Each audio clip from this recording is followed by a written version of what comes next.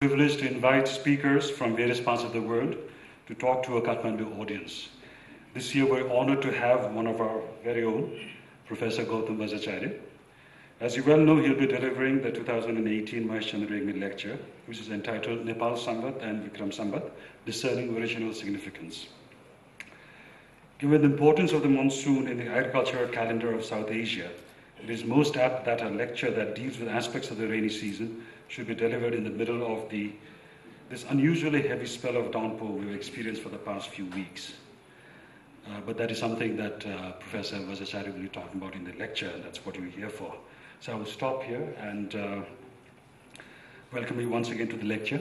But first, can I please request you all to please turn off your mobile phones or put it on silent mode? Uh, it is a very intense lecture, as you can imagine, and we do not want to disturb others or to be disturbed by others. I would also like to mention that we will not have a Q&A after the session. Uh, this, is, this has been the custom that we've followed regarding the National lecture, but we do have a, a short uh, tea reception outside and you can interact with him uh, with your concerns uh, at that period. Uh, with that, I'd like to request uh, Professor Nirmal Man Tuladhar, who is the chair of social science Baha, but also a personal friend of Professor Vajracharya, to formally introduce the speaker. Thank you. Professor.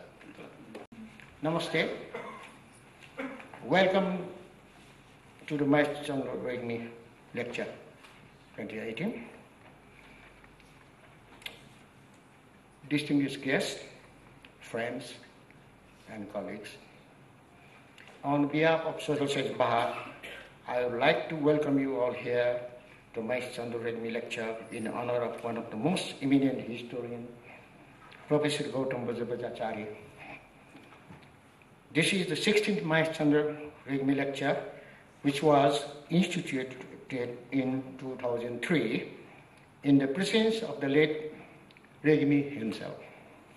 The first, the first one lecture was delivered by the late Dr. Harka Gurung. For today's lecture, we have a distinguished historian, Sanskritist, and art historian of South Asia. It is my great honor and pleasure to introduce Professor Vajracharya,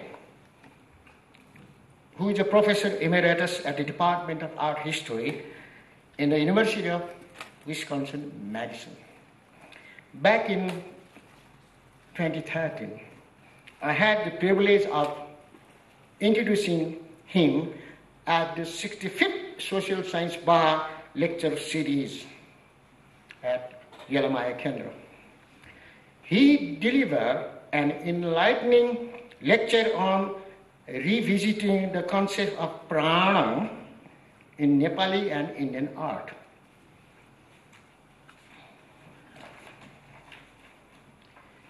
Born in an illustrious and scholarly Buddhist Newar family in 1940, which runs Pius Barsier Ausadhalaya, the Ayurvedic clinic.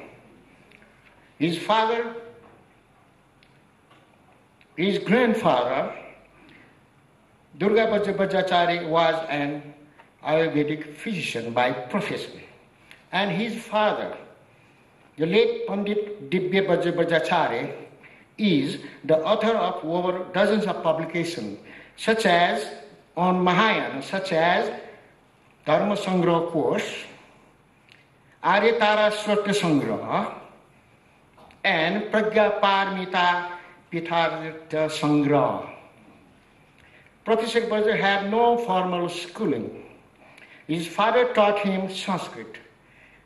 Later on, he went to join Samshodan Mandala of the late Pandit Nayaraj Panta, who taught him to read ancient inscription and iconography along with Dr. Mahesh Raj Pant and Professor Dinesh Raj Pant. At the same time, his uncle, the late Dhanavajra Vajracharya, the eminent historian and epigraphist, was his inspiration. Though Professor Vajracharya and I grew up in the same neighborhood Masangalli, Machandra Bahal, and Asan in the city of Kathmandu, we never ran into each other. For the first time, I heard his name from his uncle, Dhanavajra Vajracharya, who was my senior colleague at the Institute of Nepal and Eastern Studies, in INAS, Tribhuvan University, in early 1970s. Later, I came upon his work on Hanuman Dhoka, Raj Darbara, published by INAS, which was translated into English by Father Ludwig Stiller under the title of The Introduction to Hanuman Dhoka, published in 1975 as an abridged version. Being a disciple of Pandit Nayaraj Panta, groomed by Dhanavajra Vajracharya, advised by Mary Slusser, including his own academic and innovative bent, he studied art history at Claremont Graduate University, California, and went on to do a PhD in South Asian languages literature from University of Wisconsin-Madison. Distinguished Sanskritist and scholar of South Asian languages, art and culture, Professor Vajracharya is a professor emeritus at the Department of Art History in the University of Wisconsin-Madison, where he taught history of South Asian art for over 23 years before his retirement.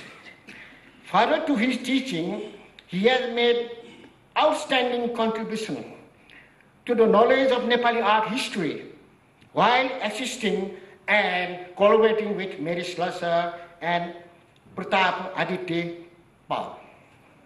Now, I would like to share with you some of his outstanding publications. Nepali Seasons, Rain Ritual, Frog Hymn and Rain Babies, Monsoon Culture and Art of Ancient South Asia, Himalayas, and Aesthetic Adventure, it is with his co-author, and Western Collection of Indian Miniature at the Elvehjem Museum of Art, a detailed study of selected works. Having introduced Professor Vajracharya briefly, now let us listen to him for his textual and visual details about Nepal Samvat and Bikram Samvat and their correlation. Thank you very much indeed for coming over here. Despite the traffic hurdle because of the old event regulation for vehicles due to the BIMSTEC summit. Thank you very much for your kind attention. Thank you. Welcome formally Professor Gurupata. We have Tracy, please. Professor Vajracharya to speak to us. Would you please? Thank you, Nirmal. I know very well that the subject of my talk is the Nepal Sambat and Bikram Sambat, not Gai. I'm not trying to entertain you, but without understanding Gai without careful observation of Gai you may not be able to understand Nepal Sambat, you may not be able to understand Bikram Sambat either. We will discuss in detail why Gai is so important to understand Nepal Sambat and Bikram Sambat in detail. I would like to thank Nirmal, Deepak Thapa, and many other important people of social science Baha who helped me to come to this place and give this lecture. Without their help, I would not be standing here. In particular, I would like to thank Dr. Rajendra Pradhan. He the one who initiated this lecture. I made Maheshchandra Regmi many times in Indrachok. Close to Indrachok, there was a Marwadi restaurant where you can get many sweets and a, a kind of Nepal, uh, Indian um, soup called chala, chola, cha, yeah, that was so good that I used to visit that Marwadi restaurant uh, quite often, and uh, Dr. Maheshchandra Regmi also there. So we used to have long discussion, and he always insisted me that Gautam, just criticizing other, I was a member of some sort of mandal, so just criticizing other is not good. It is time to start writing books, volume after volume. I wish I he was here. I do have some volumes of the book. so, I'm so glad to present this Maheshchandra Regmi lecture today. The key word of my lecture today is cow calendar. Yes, cow calendar. We have academic calendar. We have fiscal year, fiscal calendar. But we are talking about ancient people, the cowherds, prehistoric people. You, you people must, must have heard about the Gopal or Vamsavalis or Chronicle. Regularly talk about the Gopalas, who were the cowherd and controlled Kathmandu Valley. Right? Gopala Vamsavali is called Gopala Vamsavali because very earliest reference to the king of Nepal is Gopalas. Although all these chronicles refer to these cowherd rulers, we don't know much about it until now. Now we do have some, some reason to believe that we still know, we still practicing same ritual that they practiced many, many years ago. And this is why my lecture is complex. We are talking about prehistoric culture. There was a time, there was a time before Hinduism and Buddhism, even before Vedic literature was composed. And you need to imagine, we need to imagine how, how it was.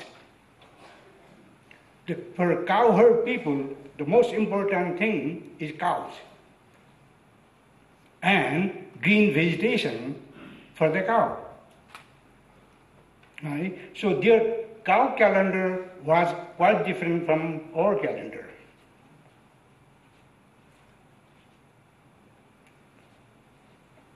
Gai Jatra is the last day of cow calendar. If you observe Gai Jatra, you will see many variety of things. First, you will see babies turning into Krishna. Did you see uh, here the, uh, the baby carried by his father? And he is Krishna because he carries flute and he is wearing peacock feather. Right? Why Krishna? What Krishna had to do in Gai Jatra? Right? But there is a reason eight days after Gai Jatra, eight or nine days after Gai Jatra, there is Krishnashtami. Right? As a matter of fact, Krishna was born not on Ashtami, not on the eighth day of the Bhadra, Bhadra Krishna, but exactly on the day of Sapadu, which is Gai Jatra. In ancient South Asia, people did not did not celebrate the birth of their son and the daughter immediately after birth because the baby may die or mother may die. What's the reason of celebrating as uh, having birthday? So they wait until either six days or eight days. Only after six days, if the baby managed to survive six days and eight days, they know that that baby will survive. Right? So they celebrated Kumara's birthday, Skanda Kumara, celebrated on the day of Shithi, city is six day. Although, although Kumara was born six days ago, but they celebrated his birthday only six days after. And this is why uh, Kumara's birthday is known to Newar as a Sithi Nakha, which means the festival of six day. But in ancient time, this is classical period. But in Vedic period, we know that eight days more important. So I have a I have a theory that Krishna actually was born not on Krishnastami, but eight days before Krishnastami. And you will see in some places, Gai Jatra is uh, celebrated quite different way. Did you see the scarecrow like a figure? You will see that kind of scarecrow-like figure in Bhaktapur Gai Jatra as well. How the our scarecrow is related to Gai Jatra is another, another question. Usually, just behind the scarecrow, they carry an image of their ancestor, father, mother. This is, this is figure. As my research indicate that scarecrow is actually Newar grandfather, Newar deity. Newar did not have the concept of God. Believe me, Newar did not have the concept of God. The concept of God is introduced by Sanskrit speaking people. This is why in Newari there is no word for God. God is so important to us. But what is the Nepali word for God? Dya, yes. But Dya is there from Sanskrit word Deva. Sanskrit speaking people came to Nepal during Licchavi period, maybe even a little bit earlier. What, what was the word for God before Licchavi period? They didn't have one. But they worshipped their ancestor as divine figure. And this is why Indra is their Aju. Every sometime even Buddha, Buddha is their Aju. Aju means divine ancestor is their divine divine spirit. I will, I will show you more about, more about this scarecrow. Scarecrow is the protector of Newars. I'm talking about really early time, okay?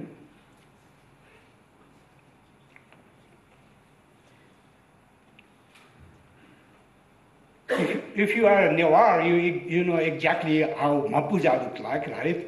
Mapuja is the ritual celebrated on the first day of Nepal Sambat.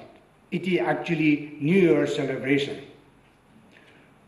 For this Newar ritual, for this uh, Nepal Sambat New Year's Day ritual, most important object is a fruit, citrus fruit called tashi.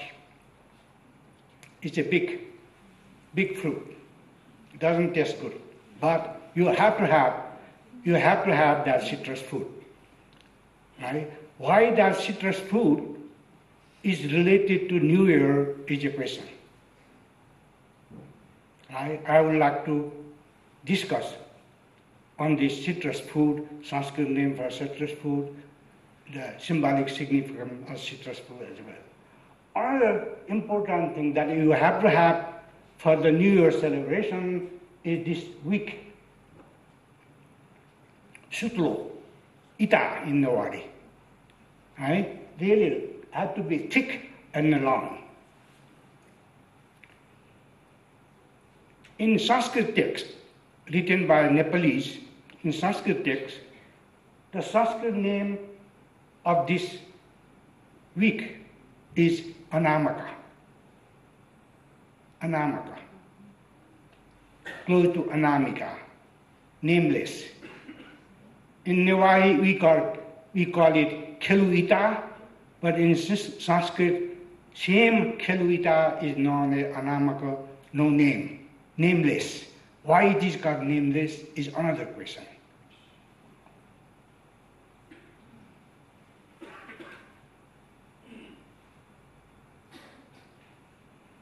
Gai Jatra is cow festival for sure. Children turn into, they wear either a headgear decorated with cow mask, they turn into calf, and they walk around on the street together with real calf.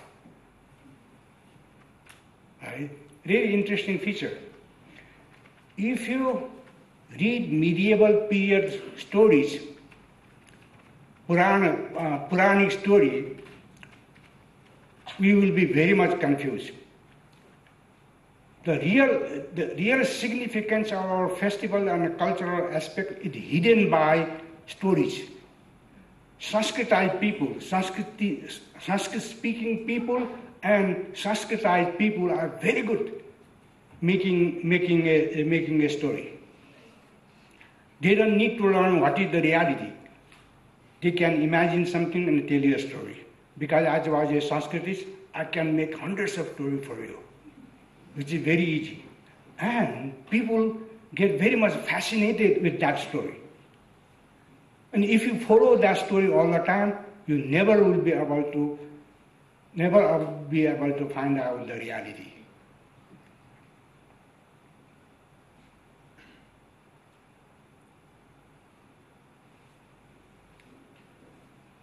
This is a kind of cow calendar. In 2016, October October 30, I think. October 30 was Mapuja. Mapuja was on October 30. Then Gai Jatra was August 7. I can hardly see. I can hardly see in here. Can you see August? Here, August 7. August, October 31st is Mapuja. August 7 is Gai So the time difference is 280 days. Time difference is 280 days. Okay? This period of time, October 31st to August 7, this period of time, known to ancient people a period of gestation, period of pregnancy. Any problem with my mic? No? Period of pregnancy. Vedic people call this period of time as, as some Vatsara. Sam means excellent, Vatsa means calf or baby, Ra means endowed with. The period endowed with excellent baby. As a matter of fact, it is period of pregnancy. Uh, and then this word samvatsara regularly used as equivalent to 10, 10 months. Indra, the sky goddess conceived Indra for 10 lunar months, then Indra was born at the end of Samvatsara. Or Kumara was born at the end of Samvatsara. Kumara was born after 10 months. Same text used either uh, during 10th month or Samvatsare at the end of Samvatsara. And we also know that frogs start croaking at the end of Samvatsara, at the end of gestation period. Frogs start croaking August 7. The weather has been changed, climate has been changed for sure. In Vedic literature, Vedic literature which is composed around 1500 BC to 700 BC, around that time, monsoon rain begins around August 7, quite, quite late. August 7 is Gai Jatra. Time, monsoon season is almost over. Not, it is not raining anymore, right? But around 1500 BC to 700 BC, is just the beginning of monsoon. And they describe that at the end of Samvatsara, uh, frogs start cooking. August 7, frogs just start, started croaking. I have been away from Kathmandu long time. What, what time of the, what, what period of time croaks start croaking in Kathmandu now? Huh? July 3rd? First week of July? Mm, that's a good thing to know. Right. So, the season has been changed for sure. Oh, by the way, I forgot to turn off my mobile. Where is my mobile? Oh, okay, I got it. Oh, I found something else. Frog. I gave a lecture on frogs in New York, and one of the audience liked it so much that Gautam, you should have this frog. I carry this frog all the time. Whenever I carry this frog, always good thing happen to me. Does it croak? Huh? Does it croak? Does he croak? I do hear him croaking sometimes. In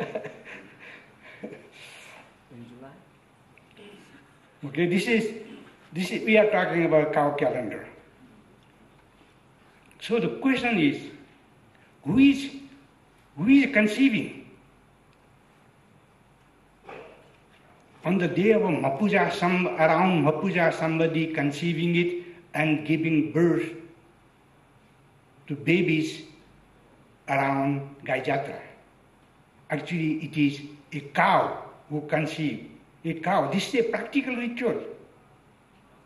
Mapuja and Gaijatra was a practical ritual. A cow conceived around Mapuja and then give birth to calf on Gaijatra. Yeah, yes, I know that a cow can conceive any time of the year, right? But these ancient people, these Gopalas, thought that if a cow conceived around Kartik, the cow will be giving birth to a calf at the beginning of monsoon. So that mother cow has plenty of vegetation, green vegetation, and baby cow has plenty of vegetation as well. This we know from Vedic literature. This is the things. We, not from Newar literature. Newar did not write anything. These Gopalas did not write anything. Right? But these Gopalas were not much different from the cowherd, cowherd of India. Because their agriculture closely based on monsoon-based agriculture. I call it monsoon-based agriculture. If there is no monsoon, their cows starve to death, no vegetation. Right? These cow herd share nightmare and the dream of the nightmare and dream of Indian Indian cow herd. As a matter of fact, even now, we share nightmare and a dream with India. We share all divinity with India not because of India's influence, because we have same, same nightmare and a dream. Nightmare is drought.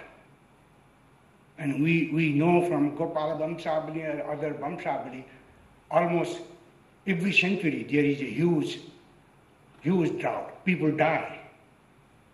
That is nightmare. And so, regular, regularization, regularization, regularization, monsoon is the main, main focus of the ritualist. They perform, they perform a ritual, Vedic people perform a ritual called Gavam Ayana, which literally means cow's walk. The ritual called the walk of the cows. Right? Actually, the Gai Jatra is the end of that ritual. The main purpose of that cow, cow ritual is regularization, regularization of monsoon. although all these things are described in the Vedic literature, this is not Vedic for sure. These Vedic people came from Afghanistan.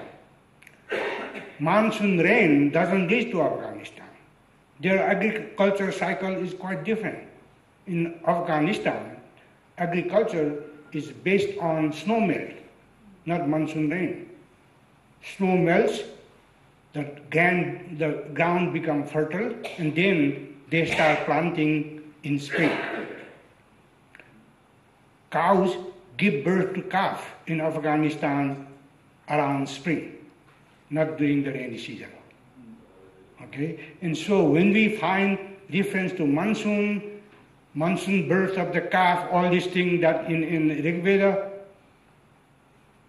it just happened to be found in the Vedic literature, but actually they learn all these things from local people. Right? So,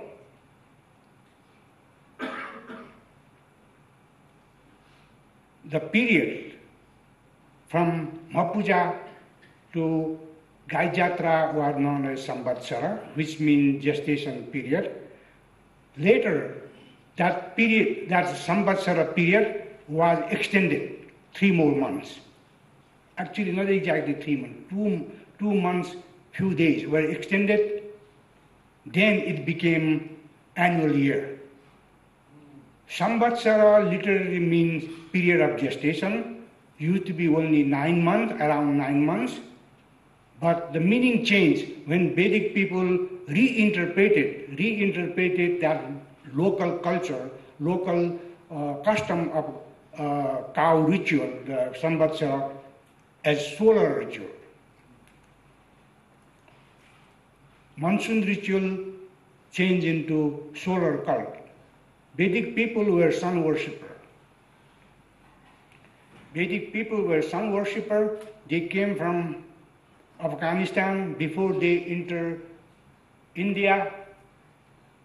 They were in Haravati, around Haravati River in Afghanistan, and snow melt was their main source of water. Their main problem was they were scared of their nightmare, as a matter of fact. Our nightmare, the, the nightmare of India and uh, Nepal's nightmare is drought. But the nightmare of the people of Afghanistan is too much snow. Have you heard uh, of the story of Ima?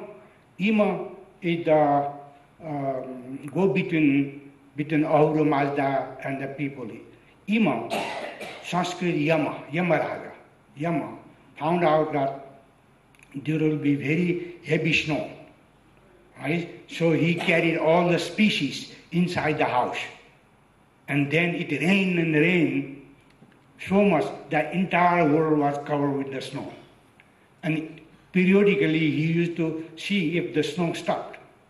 Through the window, periodically he checked if the uh, snow has been stopped. But it is still still snowing all the time. Right? Ima was the protector god. Ima means Yama. Same god Yama, same god Yama came to India, turned into the god of death. And there is very good reason. Yama was the god of south in Afghanistan. Yama or Ima was the god of south. Because in Afghanistan, southern part of Afghanistan is fertile. Northern part of Afghanistan too cold, nothing grows it in there. Northern part of Afghanistan is almost like a hell. Southern part of the uh, Afghanistan is, is heaven. Uh, this was the idea. The Vedic people, when Vedic people came, they carried that idea into India. But within few, few centuries, within few decades, their idea changed. After they settled down after they settled down in India,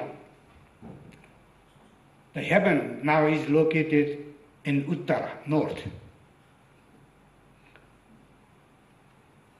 The Sanskrit word is Uttara.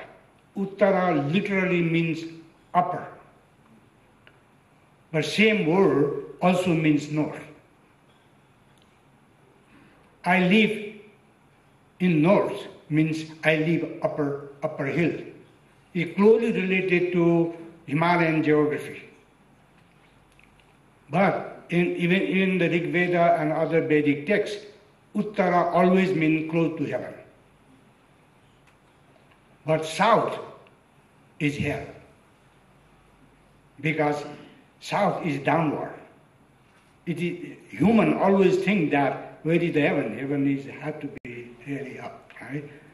That idea, northern part is heaven, southern part is hell, we still have in Newar. Newars call it Thani and Agoni, and Vedic people call it Uttara and Adhara.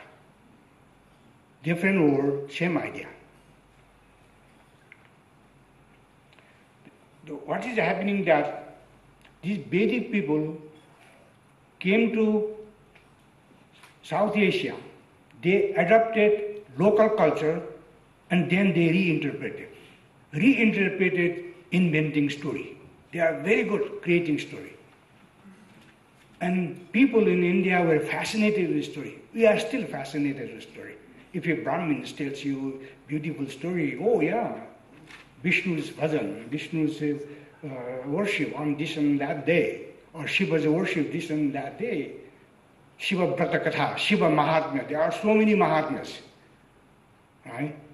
Sometimes even great scholar has difficulty distinguishing what is Mahatma and what is history. That is the main problem that we have. Okay? I will begin I will begin with an example of a Sanskritization of Newar culture. I will, I will present uh, one example of Sanskritization, one example of geographical in, impact on South Asian culture, and then I'll give one example of monsoon culture. Okay? One example of Sanskritization.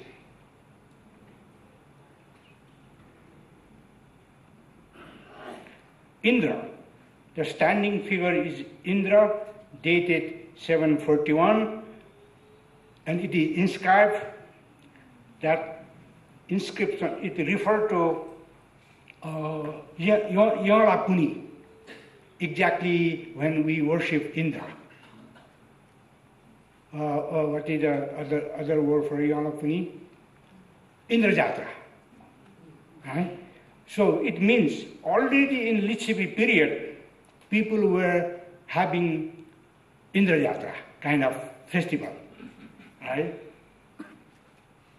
But Indra, same day, on the day of Yanapuni, on the day of Indra Jatra, Indra is worshipped in this, in this form. A scarecrow, as a matter of fact, scarecrow, and on top of the scarecrow, they place Indra's face. We know this is Indra. We know this head belong to Indra because always that face have uh, um, horizontal eye.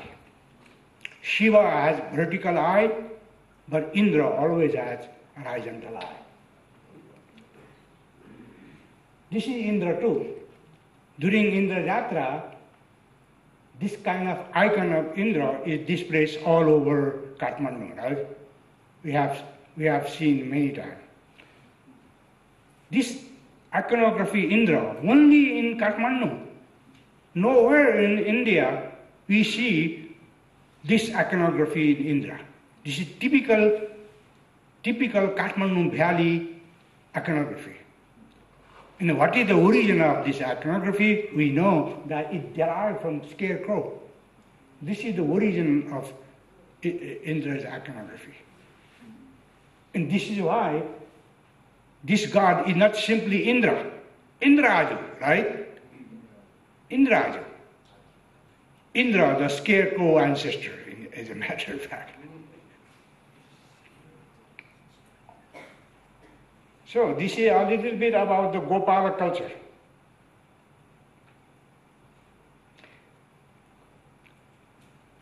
Usually, we study history or culture with the classification of Hinduism and Buddhism, particularly anthropologists.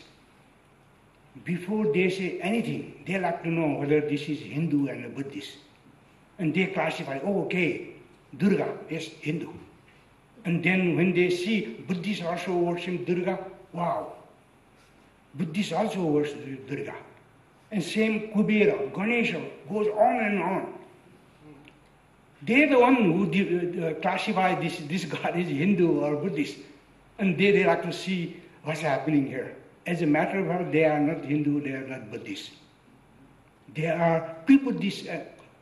Some of the gods, like Indra, this is scarecrow Indra, pre-Buddhist, pre-Hindu. Pre-Hindu. This is why uh, during Yama uh, Buddhists and uh, Hindu had no problem worshipping Indra.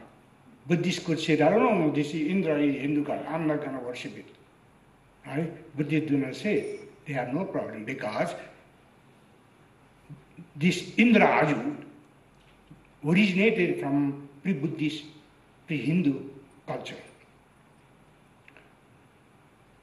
But I see always helpful if we study Nepali or Indian culture as part of geographical, uh, uh, part of geography and part of climate or weather.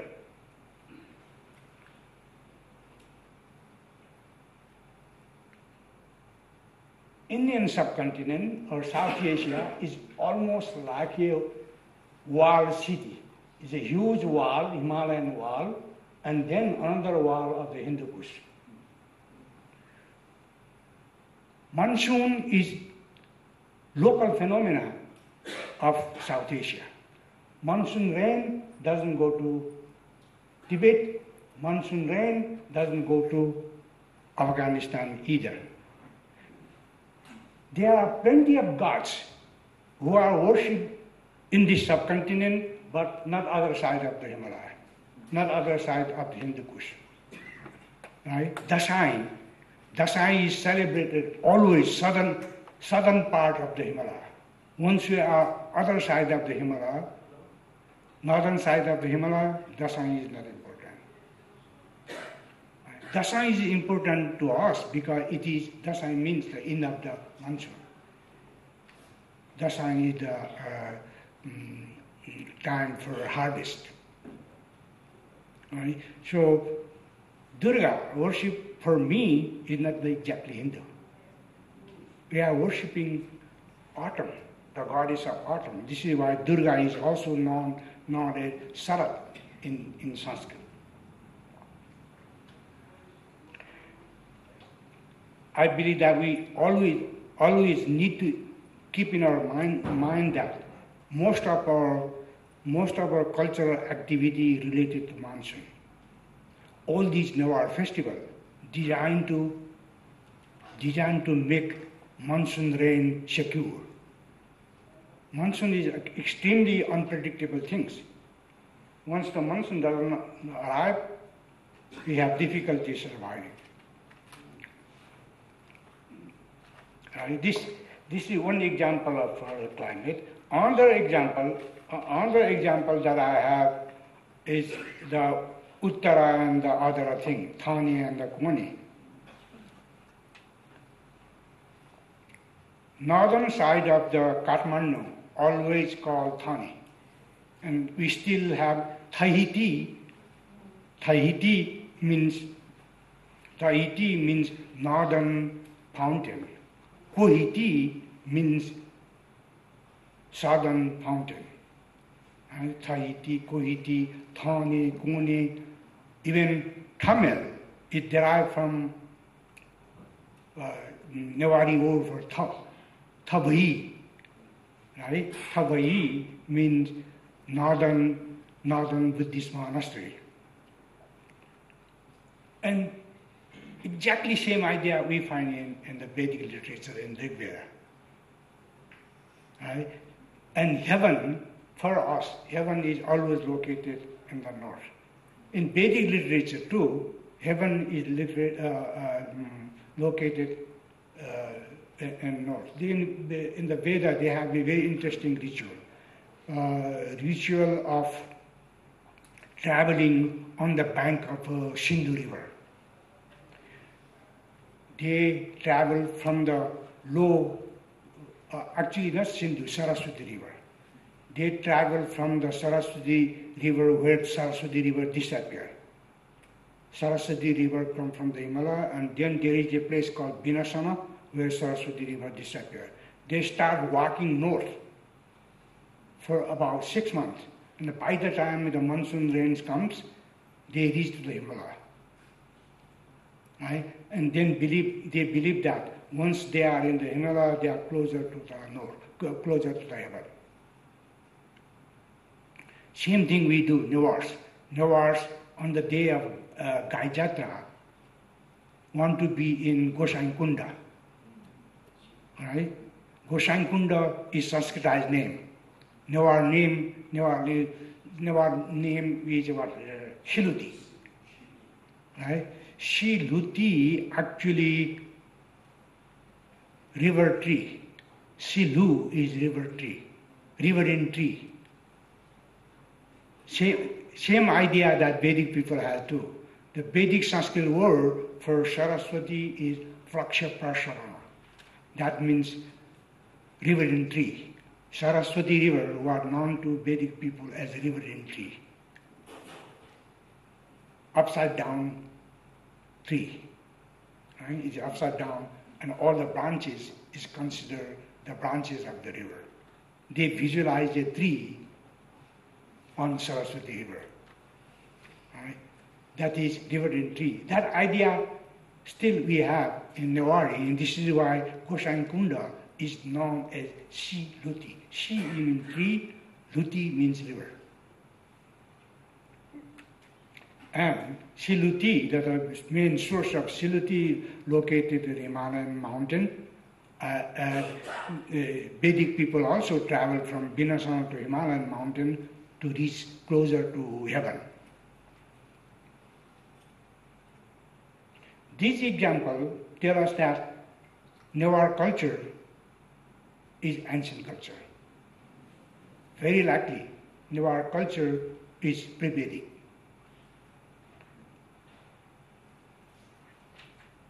The heaven is located in the north. Is local idea.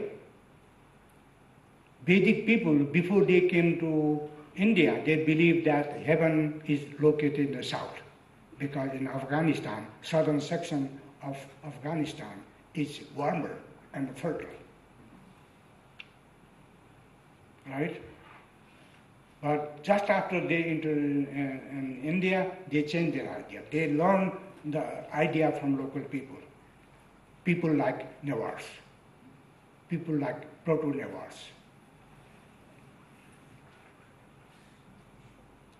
And this concept of north and the south, Thani Koni, is interesting because in Indus Valley, dead body is buried almost all the time, north facing to uh, the head facing to the north. The head facing to the north. And in Sanskrit, the upper body, upper body is called Uttaranga, upper body, and lower body is called Adharanga. In a sense, in the Newari, this is Thani, upper body, and Koni is uh, lower body. Right? So the idea of Thani and Koni may go back to Indus Valley, in this valley civilization.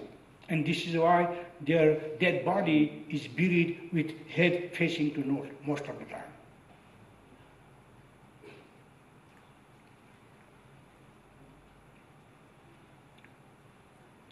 Frog worship. Never even now perform frog worship Byanjanakivu one day before one day before Gai Gaijatra. Right? Gaijatra means the end of the end of the cow calendar. Gaijatra means end of the cow calendar. End of the cow calendar means end of Samvatsara. End of gestation period. And the Rig Veda clearly said that at the end of Samvatsara, frog starts croaking. This is why I'm so much interested on frog. This is why I carry a frog all the time. Frogs tell, tell us who we are. Yes, now the frog worship is after the monsoon rain. But in ancient time, frog worship day was the beginning of rainy season. Beginning of rainy season. Even in the Buddha's time, uh, Buddhist monk started rainy season in Sravan Shukla Purnima, Sravani, on, uh, uh, uh, just before, one day before Gaijatra. Right? But now the Sravani, Sravan Shukla Purnima, almost end of the, uh, uh, end of the rainy season. Very luckily, we have been feeding uh, uh, frogs even before the Vedic people came to India.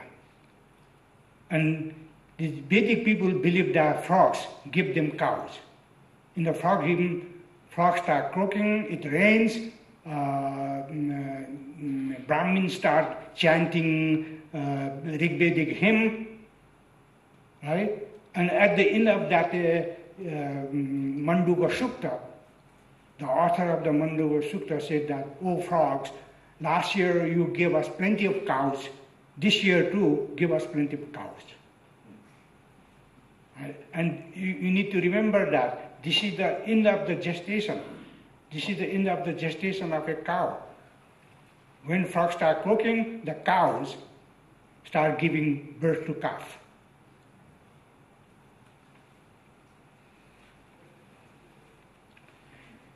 I knew most of the things long before I gave a lecture in Social Science Baha in 2000, 2013.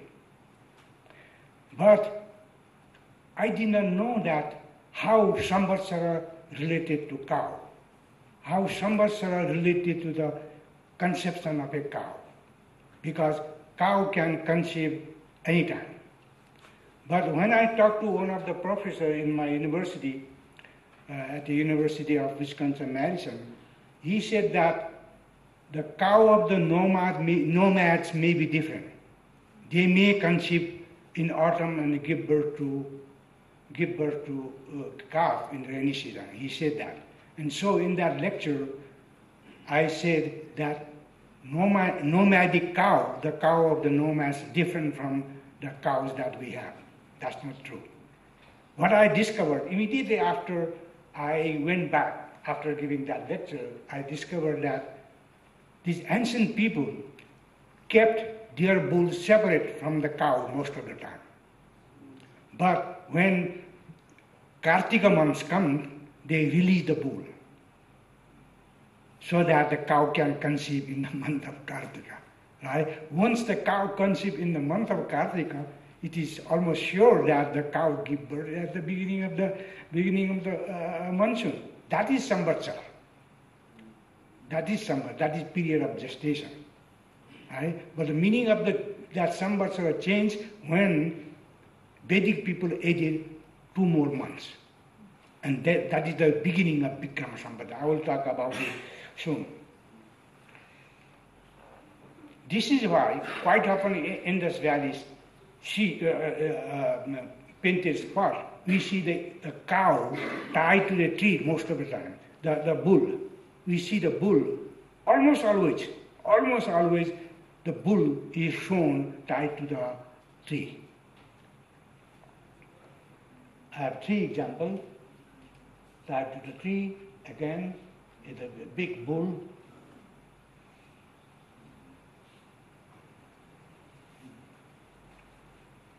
Whenever I see this big bull in Indus Valley Seal, have you seen in Indus Valley bull seal? They always see a very masculine bull, very, very big. Whenever I see the image of uh, um, bull in Indus Valley, I remember my name. My name is Gautama. It is derived from Sanskrit word Gautama. Gautama literally means excellent bull.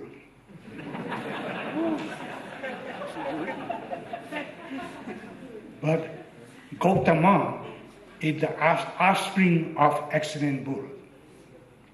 Yes, I got my name from Siddhartha Gautama. But Siddhartha Gautama himself is named after the excellent bull. right? So it seems that even in Buddha Sakyamuni's time, we are the children of the excellent bull are there. And that excellent bull is repeatedly shown in this, Indus Valley seal and Indus Valley uh, painting.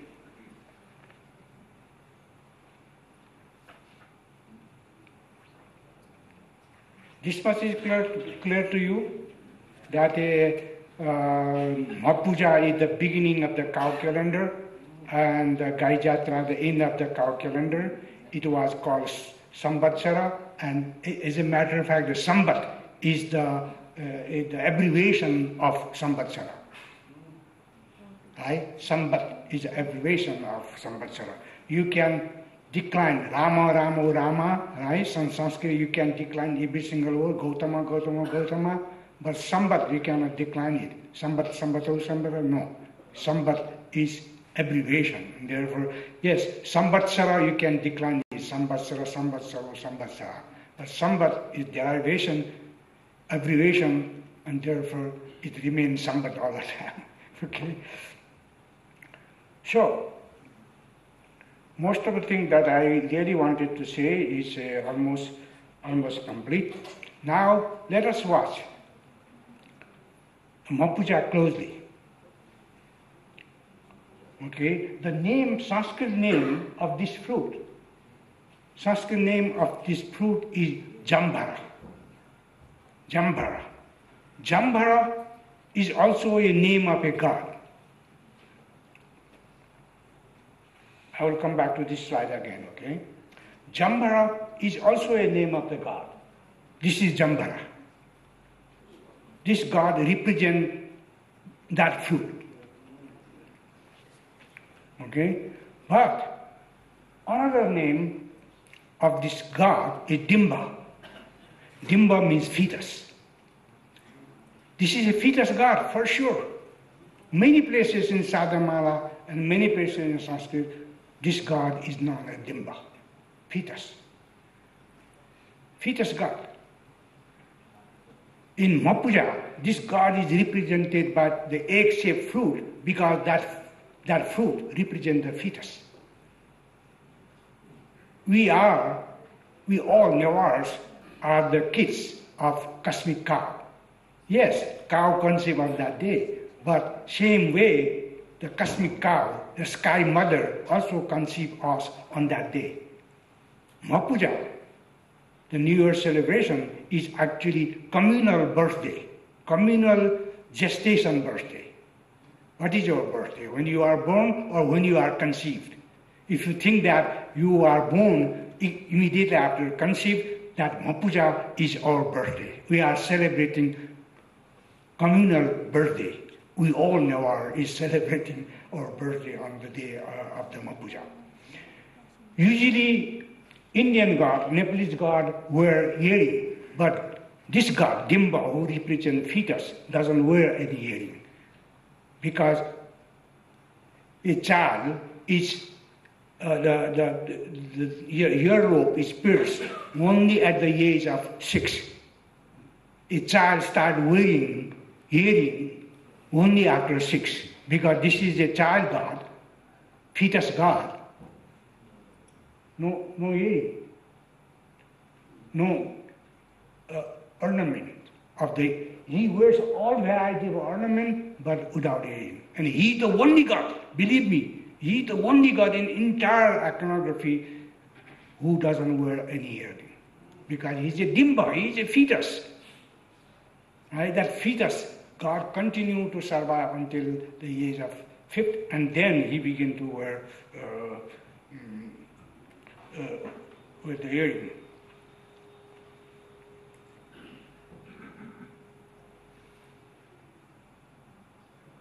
This much for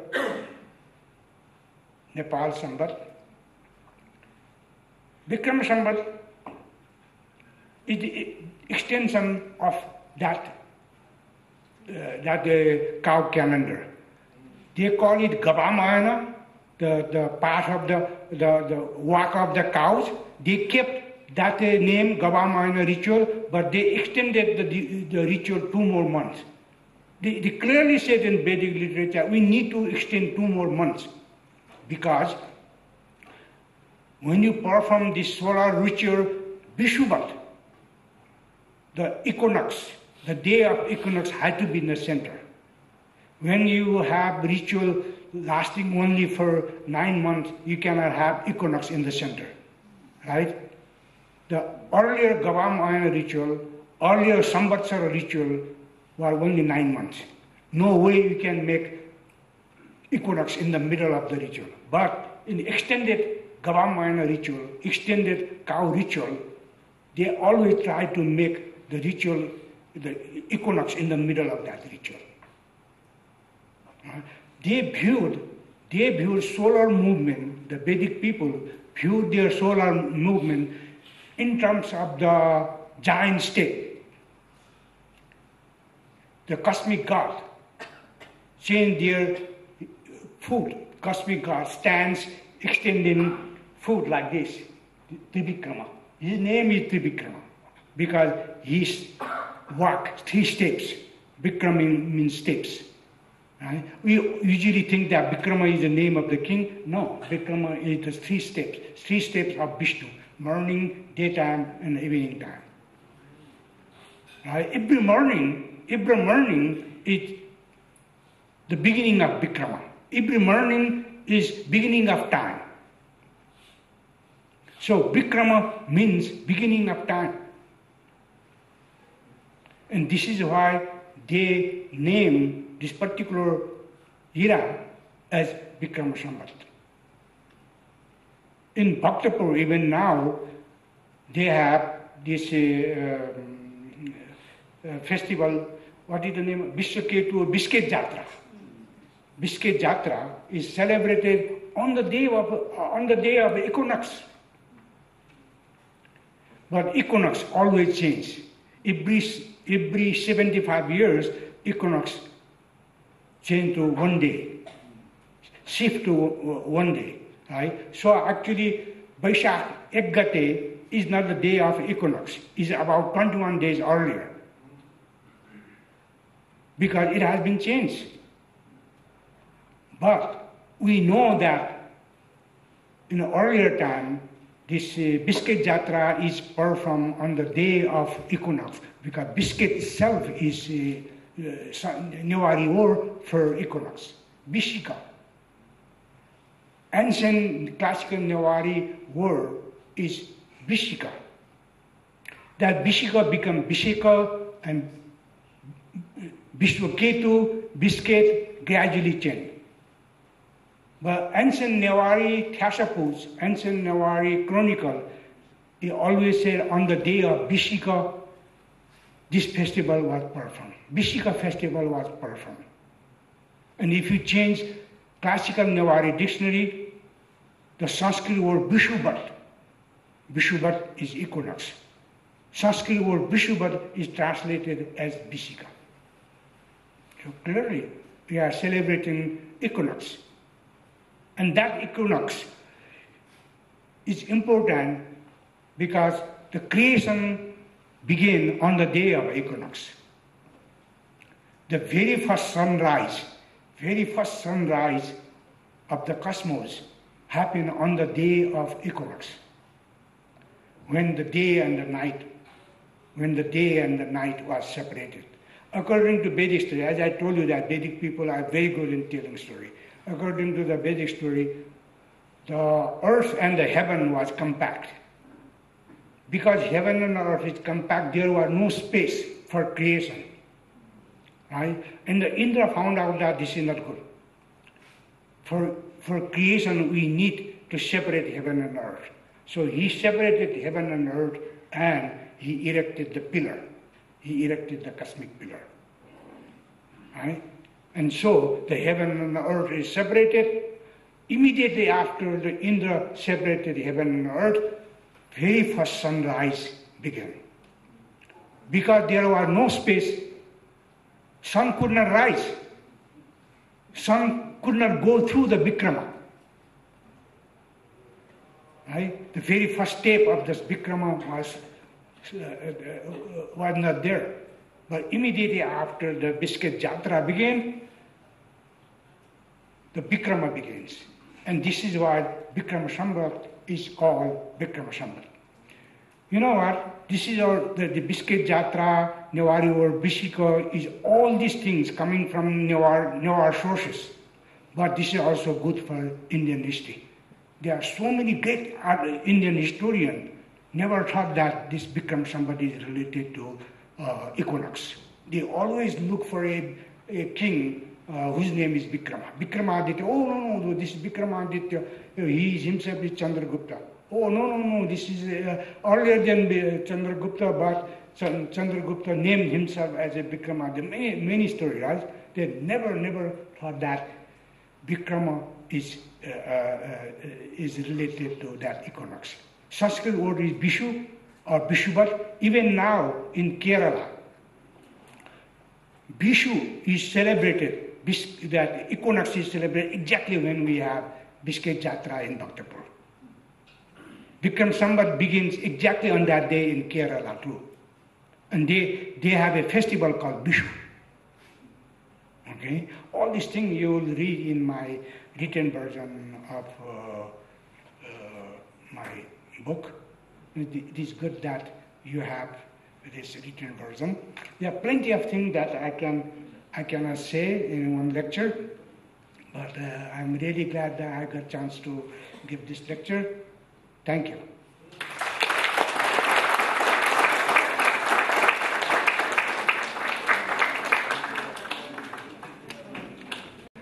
Uh, wow, that was quite a treat. Uh, thank you, uh, Professor Vajracharya. That was a very captivating uh, lecture. And uh, we have uh, copies of the lecture that are being distributed outside. And as the professor said, uh, it will serve as a very good complement to what you just heard because the, the lecture is obviously in written form. And uh, this was a visual treat. And I think the way that uh, you presented your argument certainly adds, for those of us who are lucky to be in this room today, uh, the reading the uh, lecture itself will be uh, an additional bonus. thank you once again for all of you, to all of you for being here on such a difficult occasion. And thank you, Professor Vajracharya, for accepting our invitation and traveling so far to be with us. And I think, like you know, you, you've done us justice uh, by this lecture, and I think the audience also appreciates uh, the, uh, the, the privilege of listening to you. Uh, please join us for uh, tea outside, and uh, Professor Vajracharya will also be joining you uh, for tea. Thank you.